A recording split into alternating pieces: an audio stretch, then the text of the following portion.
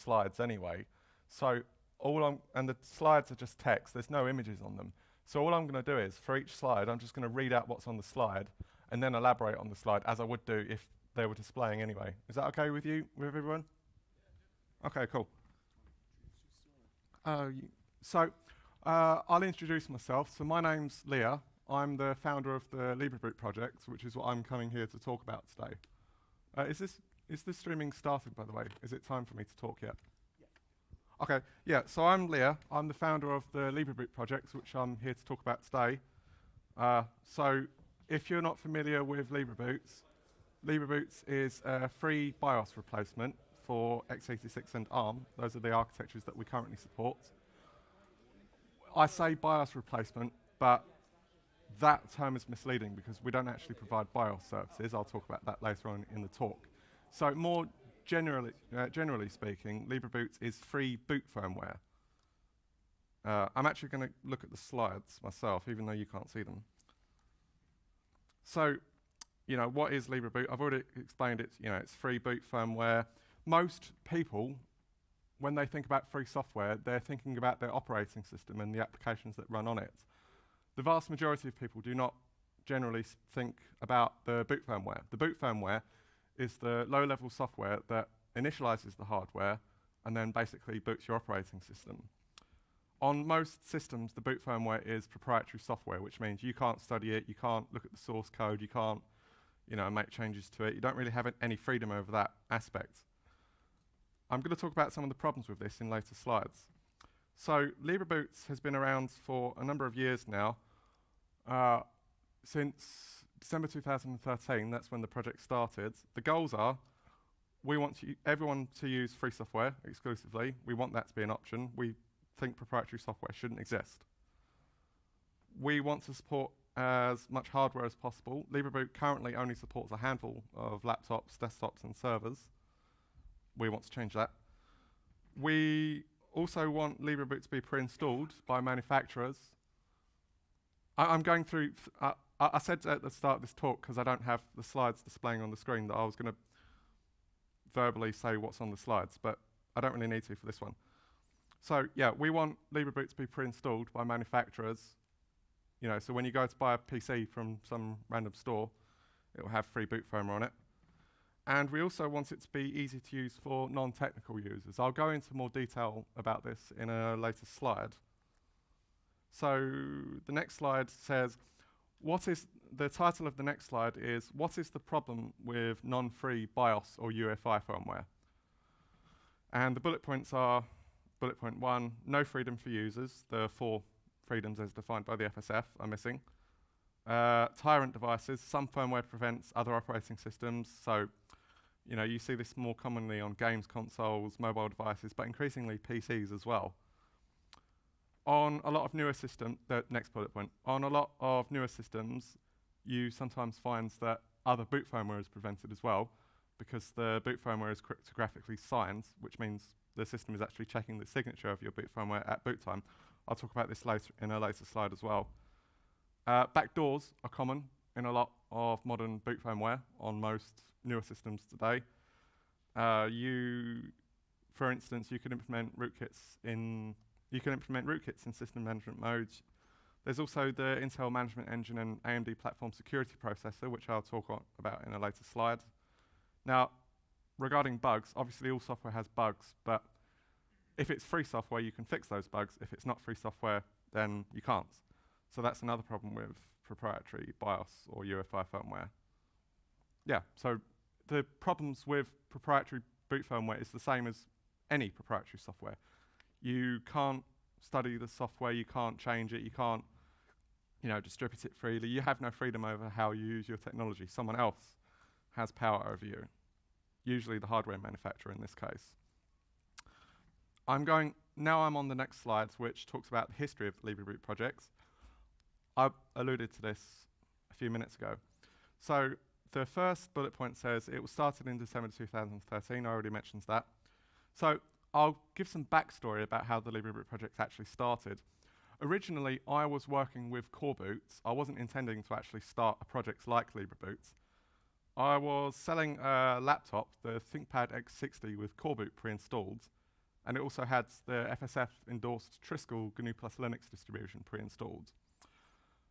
Long story short, basically the way the LibreBoot project started was the FSF actually noticed that what I was doing. Someone notified the FSF of what I was doing. They had been running a campaign since, I believe, 2005, calling for the establishment of a fully free BIOS replacement project.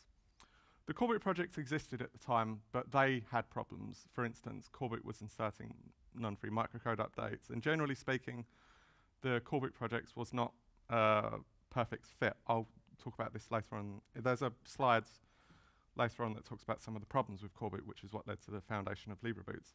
So the FSF runs a campaign called Respects Your Freedom. It's a certification program where basically they analyze products from various companies, you know, computers, phones, any kind of, of technology, to see whether, tho whether those devices come with free software, you know, do they respect the freedom of users, did they have any known security issues like backdoors and so on. And if these devices meet the FSF standards, then those devices are endorsed by the FSF, promoted, in fact. So the LibreBoot project started from this. They wanted to promote my company. So I worked on providing a fully free version of Coreboot. I'll elaborate more on this in later slides, but basically Coreboot is not exclusively free software, although it is mostly free, still free software. Uh, so initially, we only supported one laptop, which was the ThinkPad X60 in LibreBoot. We later expanded to support many many other laptops, desktops, and servers. So regarding leadership structure, again, I'm still talking about the history of the LibreBoot projects. Initially, when the project was much smaller, most management decisions were made by myself. I was doing most of the development. For the last two years or so now, I haven't been very active in terms of development in the LibreBoot projects. There's another individual, Andrew Robbins, or ANS underscore who on IRC, who has been doing most of the work for the last two years. The project nowadays is run by a committee, not by myself. I'll talk about this later on in uh, future slides. The LibreBoot, I'm, I'm on the next slide. It's really difficult to do this talk because I don't have slides. You know, I don't have slides on the display. Yeah. Okay, so for a brief period, LibreBoot was actually part of the GNU projects. I won't go into the exact details of how that went down. Basically, long story short, we were only members of the GNU projects for about four months. We have the same goals and philosophy as the GNU projects. Spiritually speaking, we are compatible. LibreBoot has applied to rejoin GNU as of last year.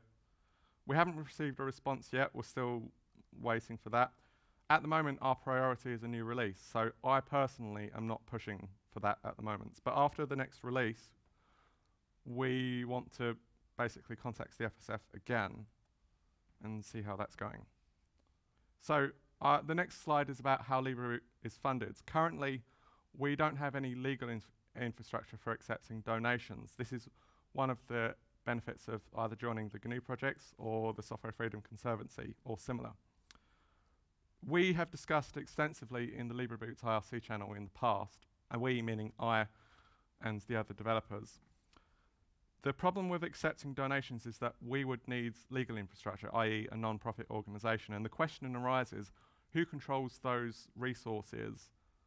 Is there a possibility for corruption? You know, we have to remain impartial at all times in how such funding is used. And for LibreBoot being such a small project, I, and, and this is a conclusion others in the projects came to as well, we shouldn't really focus on that because one, there's a chance that we wouldn't do it properly, and two, the project is already strained on resources uh, as it is, so we need someone else to help us provide those services. So that's one of the reasons why we're looking to join the GNU projects because that would provide infrastructure, legal infrastructure for accepting donations.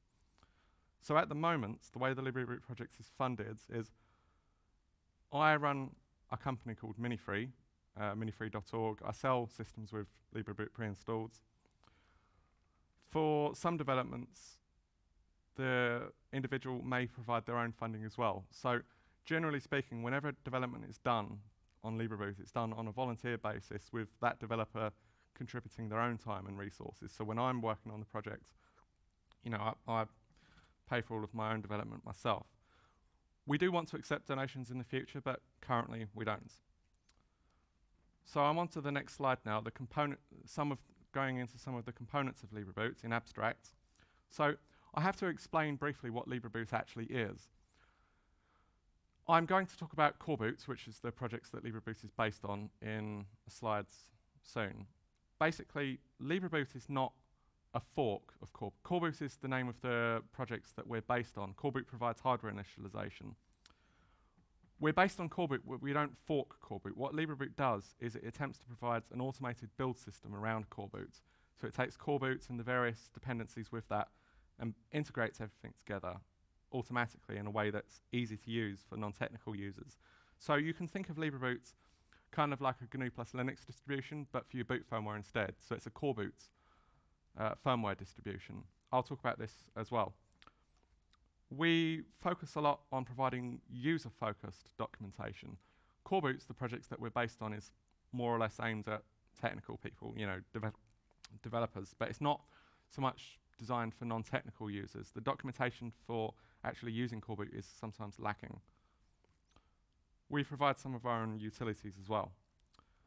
I'll go into next, the next slide goes into more detail on some of the components of LibreBoot. So the main component is Coreboot, as I said.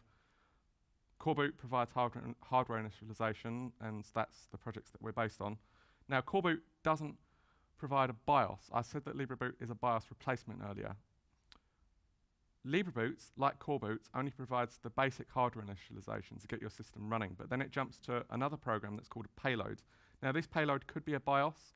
We have a payload called SeaBIOS in LibreBoot, but it could also be a bootloader. So we have three payloads in LibreBoot, grub, depthcharge, and SeaBIOS. So when you start a LibreBoot system, you'll have one of these as your software actually embedded into the firmware. We provide several utilities as well. So we provide FlashROM, which is the utility used for flashing and installing Coreboots or LibreBoot. Uh, we provide uh, other utilities as well. So for instance, on uh, Intel GM45 laptops, we provide a utility to generate the boot descriptor, which is like, uh, I, I, I, might talk about that later on in, in the slide. Uh, my priority for this talk is to get through the slides as quickly as possible. And then, because at the end of this talk, there's going to be a list of changes that have gone on in the projects in the last two years. And I also want to focus at the end on questions. So I'd like to have at least half an hour for that. So I'm just skimming through these at the moment. We also have uh, utilities from Coreboot itself. So Coreboot provides its own GCC toolchain, for instance. I'm going on to the next slide now. So I'll go into some brief history about the Coreboot projects and the nature of the project. So as I said, Coreboot provides hardware initialization on various systems, laptops, desktops, and servers. It started in, in the year 1999 as a project called Linux BIOS. So the idea back then was around the, the year 1999, year 2000s, hardware started to become self-describing. In the old days, you had a BIOS in place, which provided an abstraction layer, so to speak, for your operating system to make calls into to perform various hardware functions. However, in the late 90s, there were standards like PCI that came out, which meant that hardware was self-describing. You didn't need the BIOS anymore. The BIOS was basically redundant. The idea with Coreboot as Linux BIOS, as it started, was literally to provide a Linux kernel in the boot flash. So as part of the firmware, replacing all of the functions that the BIOS would have typically handled. However, over the years, people started using other payloads besides the Linux kernel. In around the year 2003-2004, it renamed to Coreboot and became the project that it is today.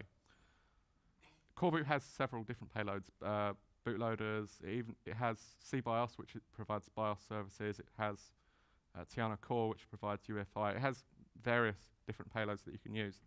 I'll talk about this later on as well. So the next slides, which I've just gone to, says what is the problem with Coreboot. So LibreBoot is a free software project. We want everyone to use free software exclusively. Coreboot, the projects that we're based on, is not exclusively free software. Some of the parts of Coreboot are proprietary software, i.e. binary blobs. Most newer systems nowadays in Coreboot are not exclusively free when you flash Coreboot. I'll give some examples of blobs in uh, you know, binary blobs in the later slides after this one. So that's the one of the problems with Coreboot. It's not exclusively free software. The second problem with Coreboot is that it's very difficult to install for a lot of people. The wiki or documentation for Coreboot is often extremely lacking for non-technical users. It's not clear how to compile Coreboot, it's not clear how to install Coreboot. A lot of people don't even attempt to install Coreboot just because of how intimidating it is. Coreboot as a community is focused mostly on developers, not users. This is one of the problems that LibreBoot attempted, has attempted to solve since its foundation. We provide a bridge between Coreboot and the non-technical community for people to use as opposed to develop the firmware. So obviously with Coreboot, if it's difficult to build for most people, if the documentation is unclear, a lot of people who try to install Coreboot actually make mistakes and, and end up bricking their system. Bricking means basically you flash, you flash the firmware and it doesn't boot. So that's a problem with core Coreboot as well. I'm on to the next slide now. So LibreBoot is not a fork of Coreboot, as I mentioned before. We provide, so it says on this slide, comparison, ISO images for your favorite GNU plus Linux operating system. Yeah, so you can think, as I said before, you can think of LibreBoot like a GNU plus Linux distribution, but not for your operating system, but for the boot firmware instead. So what do I mean by that? Well, if you download any GNU plus Linux distribution, like say Trisquel, GNU Sense, Parabola, you get uh, ISO image, you flash that onto a USB drive, or I don't know, in the old days you would have used a CD-ROM or something. You put that in your system, boot up, and it comes with a nice installation interface. Everything's easy, it's all documented. You know, there might be a community holding your hand as well. If you ever need help, you can go somewhere for support. LibreBoot is exactly the same thing as that, but for the boot firmware. So we provide the ROM images that you actually flash pre-built.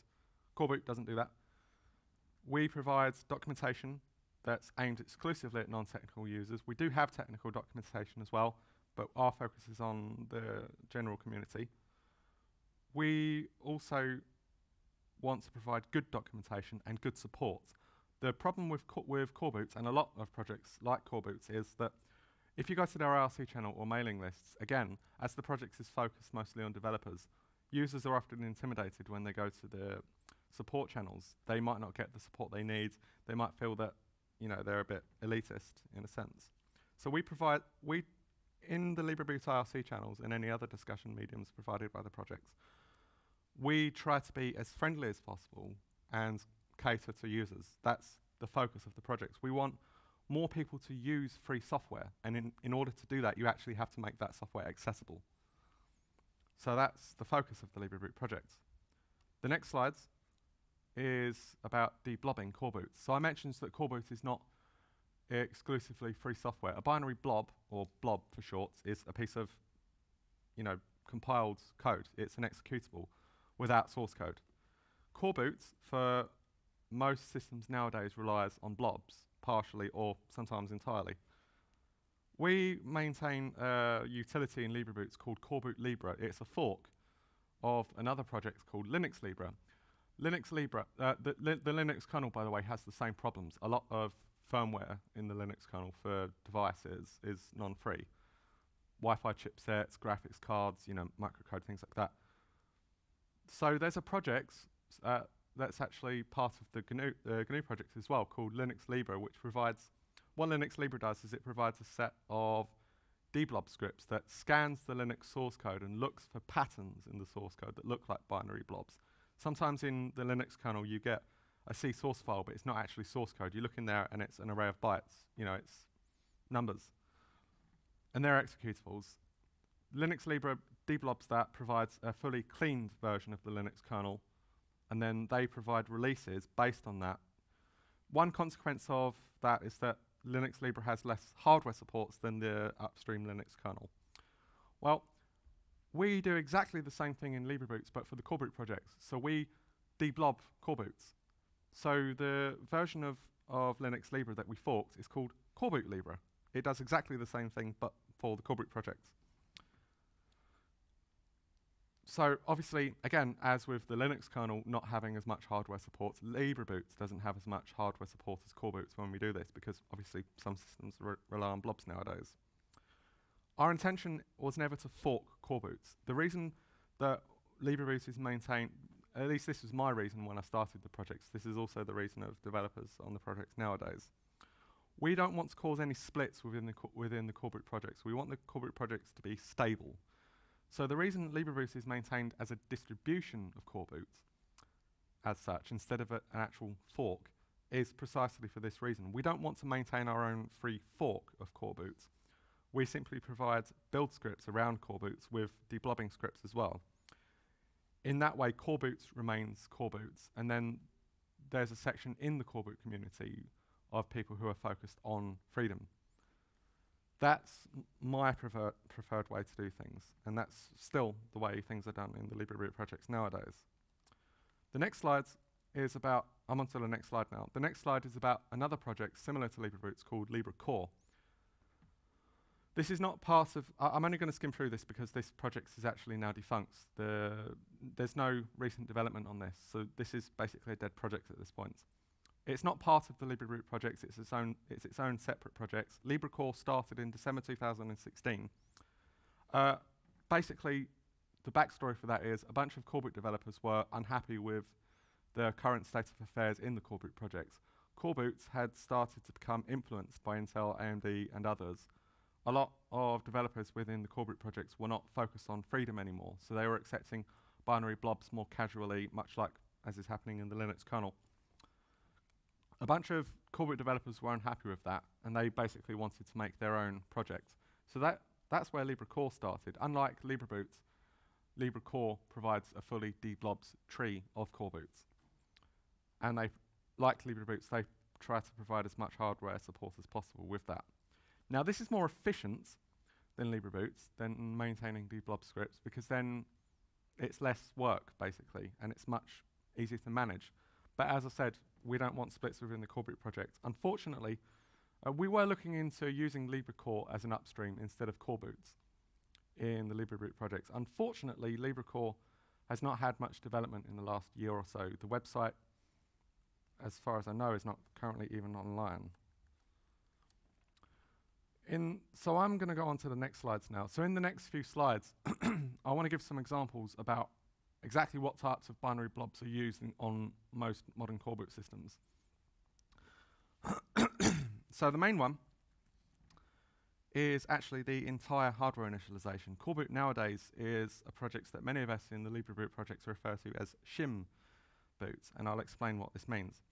So in the old days, Coreboots was source code. You know, the developers reverse engineered the hardware, and they actually re released ports for various boards that you could actually compile and look at and study. Nowadays, Intel and AMD actually provide supports to the Coreboot projects. They actually port hardware to Coreboot. However, the codes that, that they provide to the Coreboot project is binary blobs. They don't provide source code. So what the Coreboot project has done in response to this is they provide a shim around that where they use the binary blobs within the project and what Coreboot basically is on a lot of newer systems is the, the you know, basically the code that loads the, the payloads, you know, like SeaBIOS or Grub, that's free software, but the hardware initialization is entirely binary blobs. So that may seem harsh, but that's literally the case on most modern x86 systems at least. AMD was briefly providing source code between the year 2011 to 2014. AMD, through a company called Sage Engineering, which no longer exists, was releasing source codes for their hardware. Unfortunately, they stopped. Obviously, the problem with this is that it could be malicious. You don't know what that code is doing. Another blob that's typically used on most systems is the video BIOS. So the video BIOS provides hard initialization for the graphics chipsets during the early boot process, before your operating system starts, it provides an interface for your video drivers to use, and it, you know, basically initializes the display. On most coreboot systems, what you have to do is extract the video BIOS from the original firmware or from your graphics card, whatever it is, and embed that into coreboot. So the firmware for initializing your graphics card is often non-free on most coreboot setups. In so this is the, this blob is usually provided by the manufacturer. So in LibreBoots, we have our own free replacement for this. We don't actually provide a video BIOS. We provide basic hardware initialization for the for the, the graphics cards, and then the Linux kernel can use that. We support that on all of the systems that, that we currently have in LibreBoots. SeaBIOS, which I'll go on to in a, in a later slides, attempts to provide some BIOS services as well for legacy operating systems to use, and that can provide a video BIOS interface around coreboot graphics initialization. Yeah, so that's one of the blobs. Another major problem with most Intel systems is a piece of software called the Intel Management Engine. This has been present on all Intel systems past the year 2006, 2007, or something like that. What the Intel Management Engine does is it provides, uh, well, the Intel Management Engine is actually its own computer inside the system. It's its own embedded system. It has its own access to memory, it has networking, and so on, and, and it provides various applications. So one of the most common one, uh, applications that the Intel Management Engine provides is AMT, Active Management Technology, which provides remote access features. On some newer Intel systems, there's an extension for the Intel Management Engine called the Intel Boot Guard, which prevents hardware from which prevents free boot firmware from being loaded because the cryptographic signature is checked at boot time for your firmware. It's commonly believed that the Intel Management Engine is a backdoor, and this is present on all modern Intel systems. L on some systems that LibreBoot supports, there is the Intel Management Engine, but we remove it. You can read more about the Intel Management Engine on the LibreBoot FAQ, libreboot.org slash FAQ. I should also mention that AMD has something similar to the Intel Management Engine, although not quite exactly the same, called the AMD Platform Security Processor, I already mentioned that AMD is just as bad as Intel as well. They only provide binary blobs to the coreboot project. Most AMD systems have more or less the same freedom and security issues as most modern Intel systems from the perspective of the LibreBoot project. So those are the common examples of binary blobs. I'm going to move on now to a project called the, um, called the Talos workstation by a company called Raptor Engineering. So I mentioned earlier in the talk that one of our goals in the LibreBoot projects is to have LibreBoot pre-installed by manufacturers. We still have not yet achieved that goal. However, there's a project from a company called Raptor Engineering that uses IBM Power hardware. They produce high-end servers and workstations. IBM, for Power 8 and Power 9, have made it possible for companies to provide free firmware and free software around their hardware another advantage as well, they provide a few other nice advantages as well. So for instance, I didn't cover microcode updates in the last slides. Microcodes is the software that on most modern CPUs, the instruction set is not implemented purely by circuitry. It's implemented by software called microcode, which basically configures the logic gates inside the CPU to provide the various instructions that your software uses. The microcode is almost always non-free on any given system, whether it's Intel or anyone else. However, on Intel systems, the microcode is signed. The microcode that comes in that comes with the CPU you can use, but there are microcode updates that patch around bugs and security issues in the microcodes that the coreboot projects will provide as binary blobs. We don't provide those in, in LibreBoots. The problem with Intel is that those binary blob th those microcode updates are signed. So even if you understood how the microcode worked, even if you had the source code or were otherwise able to reverse engineer it, you would not be able to use your own modified microcode on Intel systems. On IBM Open Power hardware, this is not the case. The, the microcode on, sorry, sorry, my throat's a bit dry.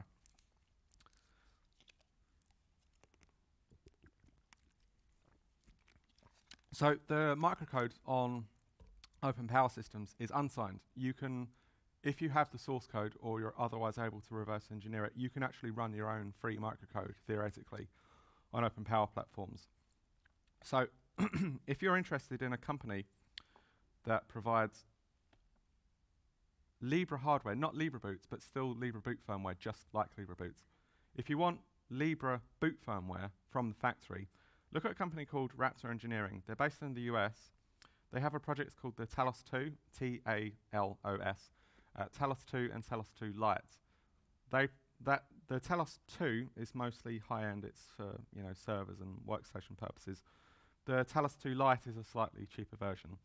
Although it's not LibreBoots, we do actually promote this on the LibreBoot website because it's free boot firmware, even though it's not LibreBoots directly. I'm going to go on to uh, the next slide, which is about payloads. I, I don't really need to go into detail on this because I already alluded to, to this in, in earlier slides. So basically, Coreboot provides hardware initialization, jumps to a payload. Yeah, I've already talked about this, so I can skip over this one. So the Grub bootloader is the common, is the most, is the default payload in LibreBoots. So in LibreBoots, unlike on uh, typical x86 BIOS, we we don't actually provide BIOS services in LibreBoots. So on a typical system, you boot into a BIOS which has its own non-standard bootloader, which then loads a BIOS, typically, uh, sorry, which then loads a bootloader from the hard drive, typically GNU Grub, but it could be something else, provided by your operating system. On a LibreBoot system, that is not the case. You on in on Intel and AMD platforms, by default, we use the GNU Grub bootloader. So you do you have the hardware initialization in, in LibreBoots, and then once that's done, it jumps to Grub. Grub is embedded inside the flash chip where LibreBoots is. This has many benefits over a traditional BIOS. The first main benefit is you have faster boot speeds because you're booting directly into the bootloader, which actually starts your operating, uh, operating system. Grub has support for, for reading from decrypted partitions. There's a command in Grub, cryptomounts, which you can use to actually decrypt uh, LUKS encrypted partition and read files from it. And this also means that you can encrypt your slash boot directory and boot an encrypted kernel from your hard drive. Grub has support for checking GPG signatures. So if you sign your Linux kernel, you can actually check the signature at boot time to check whether it's been tampered with. This is not really useful for most. Like if you if you're making your own signature on a Linux kernel on a binary provided by someone else, this is not directly useful because unless that binary is reproducible, if the Linux kernel is built reproducibly, then typically your distribution may provide GPG signatures. So if you were to use this feature, you'd probably use the signature provided by your distribution. Another benefit of Grub is that it can boot the Linux kernel directly from the flash chip. So I should explain briefly that Coreboot actually has its own file system inside the flash chip where Coreboot is installed. It's called CBFS, CB, uh, Coreboot File System. So when you flash Coreboot, there's a file system embedded into the ROM image. You can change whatever files are there. You can put a Linux kernel inside CBFS. So you can embed a Linux kernel into the flash chip and flash that along with LibreBoot and Grub. This could be useful for a number of purposes. Grub can also load other payloads. If you use the chain load command in Grub, when Grub is built as a Coreboot payload. You can load other Coreboot payloads if you compile them as ELF executables and embed those executables either into the flash chip or an external hard drive, USB flash drive, whatever it is, Grub can boot from that as well. So if you've got another bootloader that you want to test out, if you've got, uh, you know, if you want to run SeaBIOS, you can load that from Grub. So that's useful you one question as soon as I mentioned that Grub is embedded into the flash chip with LibreBoots, the most common thing that people typically ask is, oh, well, okay, then what if what if I reinstall my operating system? Do I need to reflash to get a new Grub configuration? The answer is no. In LibreBoots, we automatically scan all of the partitions on whichever hard drives or storage devices are present. we check for the presence of a grub configuration file and switch to that if detected. You can change the grub configuration that's embedded into LibreBoots, but you don't have to, that's optional. So if anyone's wondering that, yeah, you can just, for, from the user's perspective, you can install any GNU plus Linux distribution you want, and typically speaking, LibreBoots will automatically detect and boot that, just as a standard BIOS would. The other payloads that we mainly use is the depthcharge payloads. So I mentioned at the start of this talk that we support x86 and ARM. So for x86, we support various ThinkPads, we uh, various uh, desktop motherboards from, I believe, Asus and Intel. There's also one gigabyte motherboard we support. We also support one server motherboards, the ASUS KGPE-D16. That's x86. There are several uh, Chromebooks that we support. Coreboot has very good support for Chromebooks in general. Now, with Chromebooks, you can get one of two architectures. If you buy a Chromebook, it will either have uh, Intel x86 processor or it will have an ARM platform embedded into it. So there's a chipset based on ARM called the Rockchip R, uh, RK3288. There are several Chromebooks supported in Coreboots that can be used entirely with free software. We support all of the, those Chromebooks at present in LibreBoots. If you download LibreBoot from the, from the latest Git repository, you'll find support for several ARM-based Chromebooks. But on ARM, we don't use GNU Grub or SeaBIOS. We use another payload called depthcharge. Depth Charge is a bootloader, very similar to Grub. It's maintained by Google, and it provides many of the same advantages. So, for instance, it can check you can check signatures on your Linux kernel at boot time, things like that. so I'll go on to some the next slides, which talk about operating system support. GNU plus Linux is fully supported in LibreBoot. You can use almost basically any distribution you can think of should work.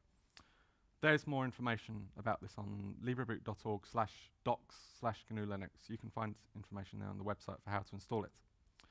BSD is also supported. NetBSD works out of the box. OpenBSD works. Last time we tested it, FreeBSD wasn't fully compatible, but most of the BSD distributions should work in LibreBoot as well. That has been tested. Other operating systems, like I've got listed here on the slide, ReactOS, FreeDOS, HaikuOS, KolibriOS, most other operating systems are unsupported in LibreBoot, usually because they rely on BIOS services that LibreBoot doesn't provide. So basically, mainly we only support GNU plus Linux and BSD. Windows is completely unsupported in LibreBoot at present.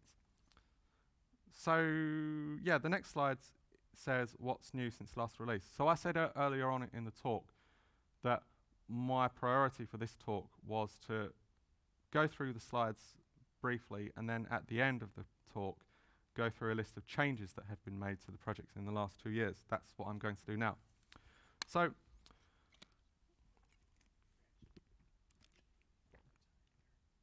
Okay, uh, so in the last two years, so the last stable release of LibreBoots was about two years ago.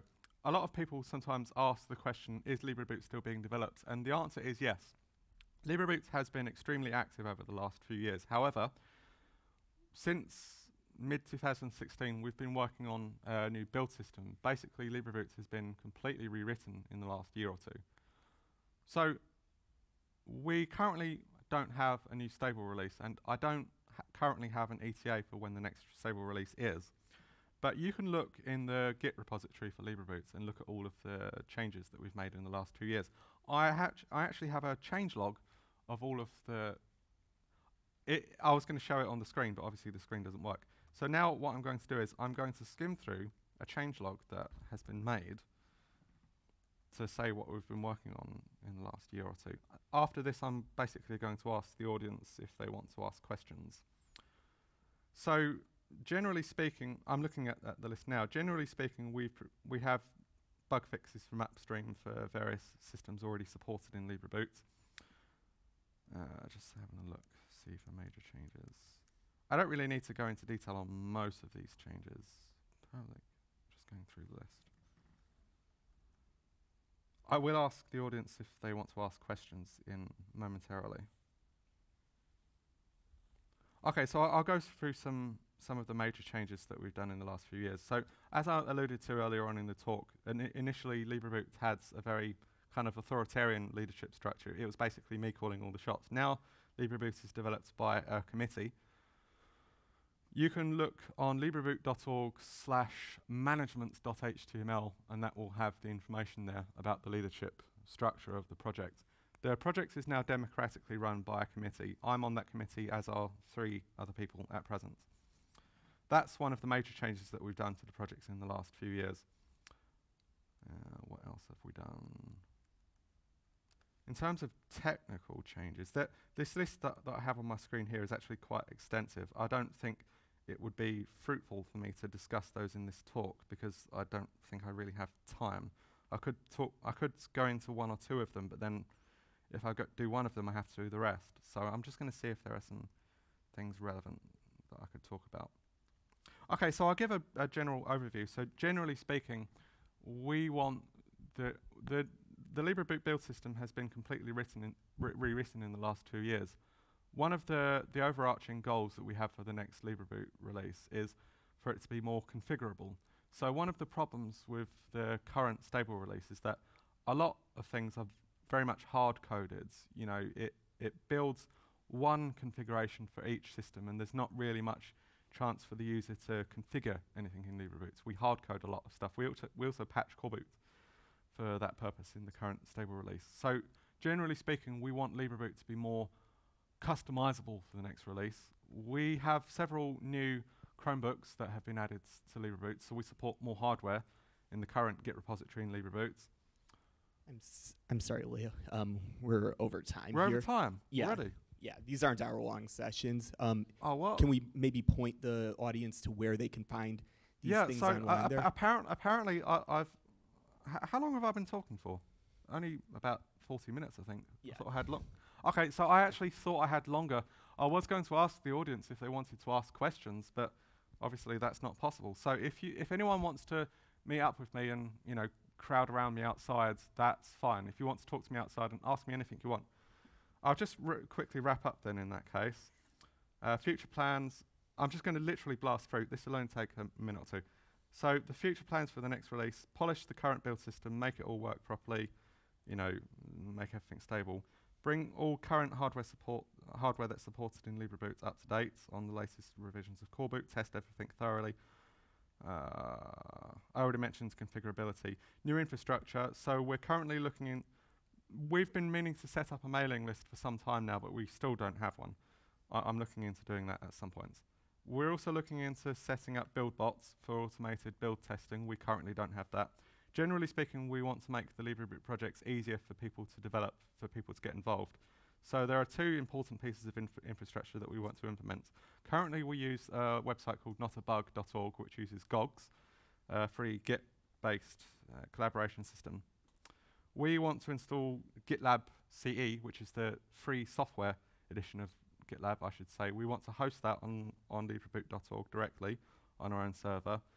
It provides many advanced features, so we want to make LibreBoot easier to get for people to get involved with. I'll just briefly say how you can help the LibreBoot projects. Again, we, have run out of time. We want LibreBoot's, okay, hang on. Okay, so you if you have technical skills, basically, you know, go on the IRC channel, add for core boots, add new hardware support, and so on. You can help us with the build system. We're currently looking for volunteers on that. You can tell your friends about LibreBoot, help people install it, and so on. Organize workshops at your local, you know, hackerspace, user group, whatever it is. You can help, if you spot anything wrong with the documentation, you can submit patches to that. Go on libreboot.org forward slash gets.html, and that has information about, about how you can contribute. Contact methods, we're on hash libreboot on Freenode. So Freenode IRC hash libreboot. We have uh, Reddit subreddits uh, slash r slash libreboot. The list of current developers is on libreboot.org slash management.html. And that's the end of my talk. Thank you.